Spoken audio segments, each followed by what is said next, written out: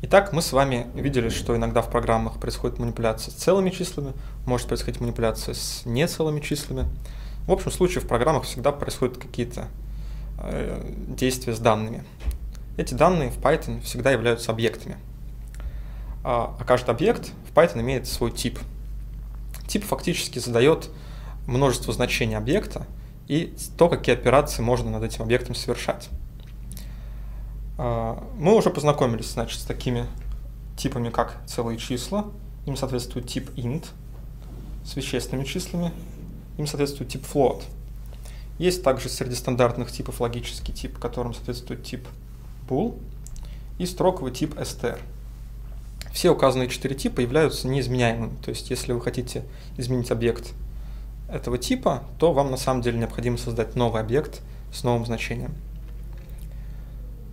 А полезно понимать, что какой объект у вас имеет какой тип. То есть, например, если у вас в программе есть число 5, то это число типа int.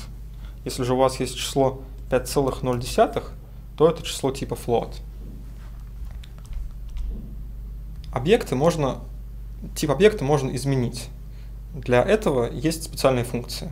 Например, для того, чтобы получить из произвольного объекта число Э, типа int, мы можем использовать функцию int. Если мы передадим этой функции не целое число, скажем число 2,3, а, то дробная часть будет отброшена, и мы получим в результате число 2. Мы можем также преобразовать целое число к нецелому. Иногда такое тоже бывает нужно. А тогда мы можем воспользоваться операцией float, которой можем передать некое значение, пускай это будет число 5, и получим в результате число 5,0.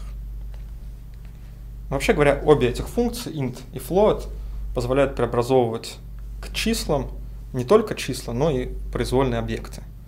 Но для разных объектов это может происходить по-разному. Например, мы будем активно использовать эти функции для перевода строк в числа. Об этом мы увидим чуть дальше.